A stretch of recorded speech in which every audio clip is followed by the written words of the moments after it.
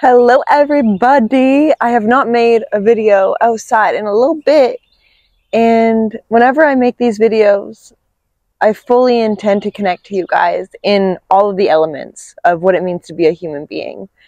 And being outside in nature truly reminds me of my own internal nature and the beauty that can be found upon looking outside. Because sometimes we need to look outside of ourselves to further gain the inner truth and awareness of ourselves through the objects we observe, the circumstances we are dealt, and the people who are here to teach us. There is no such thing as accidents here on planet Earth. Everything is set up to assist you in your own evolution. But as you being the participant here on Earth, it is a choice whether you remain unconscious or conscious to who you are. And I'll tell you a secret. You are God. You are an aspect of the Creator, viewing itself, experiencing itself as you. And that's pretty perfect. And that's pretty awesome. That here and now, wherever you are watching this video, we share this planet.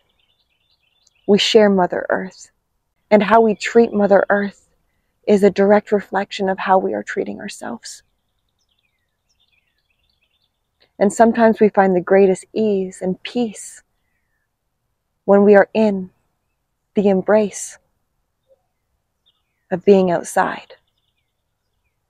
And that could be a reflection of the disruption we are feeling inside.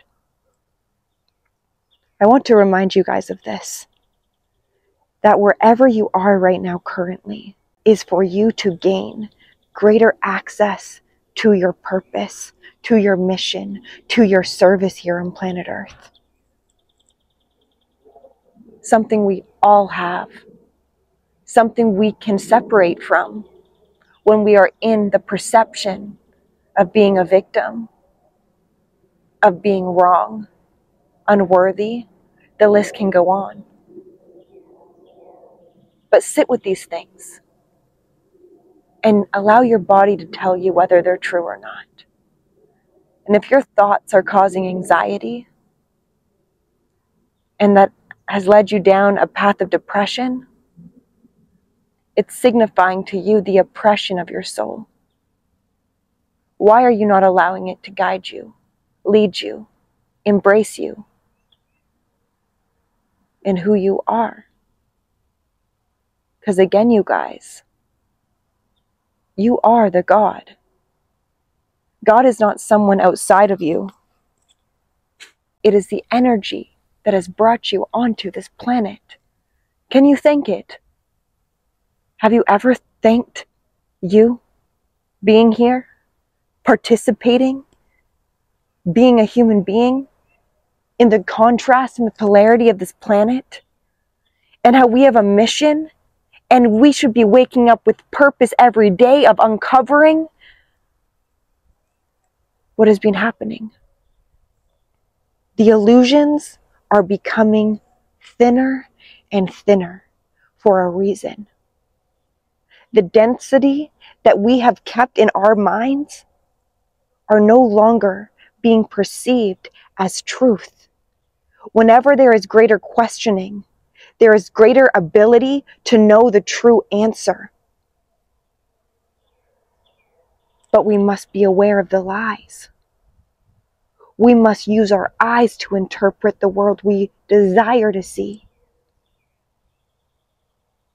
And I don't care what this world looks like the chaos, the crazy, the dark. Those are the times I thank Mother Earth. For she is showing us what we have kept a secret for far too long. And in this community, you know, here on YouTube, all these light workers showing up and doing the videos, I guess, here, whatever, sharing their truth. It's beautiful and it's a reflection of ourselves. Everyone you see online, especially if you find a relation to them, you can relate on some level. It's just you. It's a higher aspect of you communicating through technology. For it is your reality. I'm just a player in it right now. And for me, I'm in my own reality, putting myself forth in truth, in honor, in service to grant you the mirror of what you are capable of. And when push comes to shove, I hope you are willing and ready to embark on the journey of understanding the dark. For when we can understand the dark, we are able to bring forth more awareness upon light. We need both, and both are here to serve us. And how do I know this? Because it is the darkest moments in my life that has brought me into grander light. For me to harness and hold and uphold in greater purpose than what the dark taught me. For the dark only taught me the capability I have of shining, and I shine my light every day. And sometimes my light shines in the darkest of days when I allow it to be dark. And I don't try to allow the night, the dark night of the soul, to be the morning sunrise. That would be arrogant. And that's what a lot of people are doing with their internal emotions is trying to meet, make their dark light without understanding the dark has the capability of holding your light. There's no need to shift out of it. It's just a willingness to embrace your parts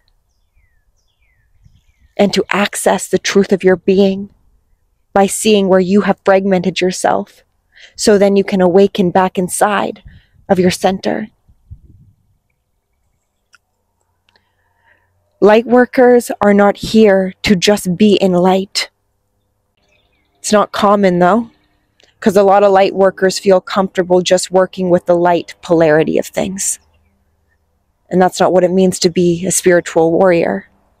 Spiritual warrior finds great purpose in overcoming obstacles, challenges, and embracing the dark moments to allow another person to feel safe in what it means to overcome this. And when we as a society can stand together and stand up and stand tall, regardless of what is happening, is when we can truly make change by not putting anyone in the wrong rather understanding why we label the very aspects of human nature as wrong. God doesn't make mistakes. It's only the human mind that perceives in them and that identifies to them and attaches to them. That creates unsafety within what we go through. But what we go through is for us to understand ourselves in greater truth.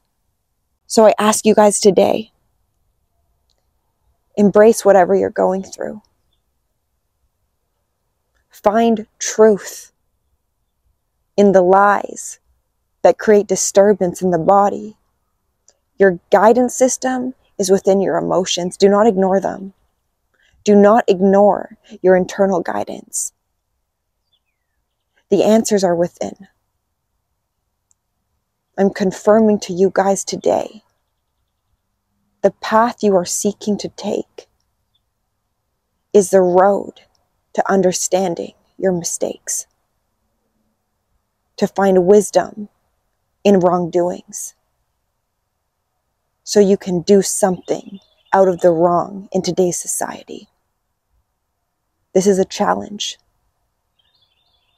the ones who are equipped to handle their own internal dark, won't be scared of what's to come.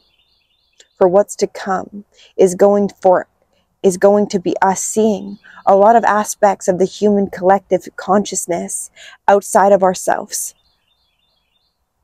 For everything in this world is a mirror, so everything that comes forth into our awareness has something to do with what we're still holding on to. And to truly make change, we need to see what needs to be changed. So hold on tight. Embrace your human experience. Don't shame yourself. Embrace who you are as a human, knowing that you are on purpose every day when you can serve yourself to understanding the greater truth of what you are going through by not diminishing your light, but using the dark to be the catalyst to bring forth the light, to lead the way. I love you guys, and I hope you have a beautiful day today.